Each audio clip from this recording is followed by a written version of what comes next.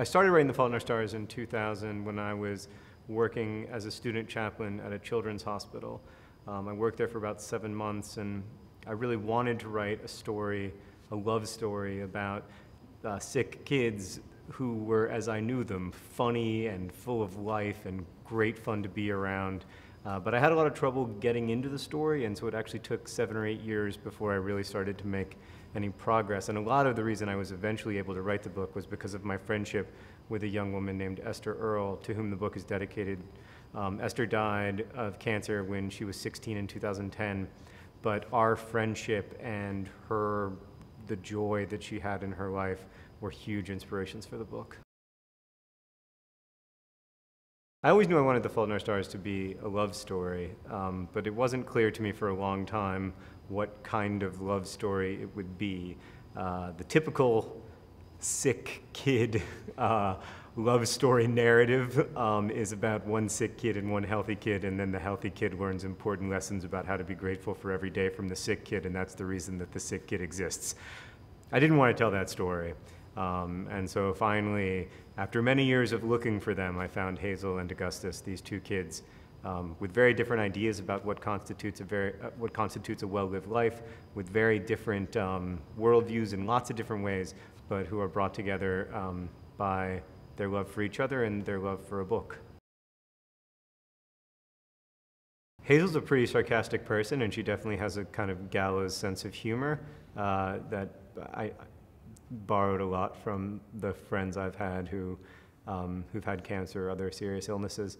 Um, but she's also very loving and deeply, deeply concerned about the effect that her illness has on the people around her, particularly her, her parents. And she, she doesn't want to be what she calls a grenade. You know, she doesn't want to be someone whose death causes pain in the world. She doesn't want to cause pain in the world, and she's very hyper conscious of that. There's a nice line in a Philip Roth novel where a woman says, uh, The pleasure isn't in owning the person, the pleasure is having another contender in the room with you. And I think Hazel is the kind of person who uh, doesn't have a lot of contenders in the room with her. And when she meets Gus, she realizes, oh, well, this, this guy can hang with me. This guy can, you know, he can talk as fast as I can, and he knows a lot of the words that I know, and um, I've got a contender in the room here. And I think for Gus, it's very much the same thing. He's used to being able to get girls, but he's not used to being able to, uh, he never, he's never encountered a girl like Hazel before. Shailene Woodley sent me an email that was like 30 pages long about how much she loved The Fault in Our Stars and how she had to play Hazel. And um, it was an amazingly passionate email. And so when things started to happen and it seemed like, wow, they really might make this movie, you know, everyone was talking about Shay, and I was all for it. Um, we saw lots, I saw lots and lots of audition tapes um, before Shay had the chance to audition.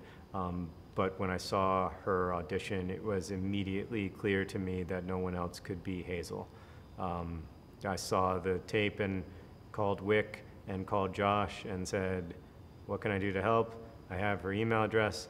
Can you give me her phone number? I'd like to call her. Can I fly to LA? What do I need to do to make sure that she's in this movie?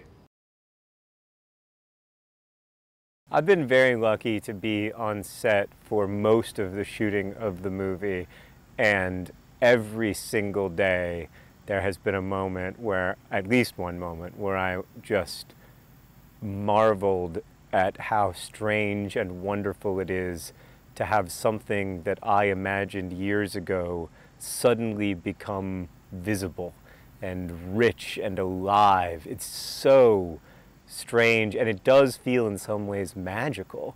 Um, it feels like movie magic a little bit.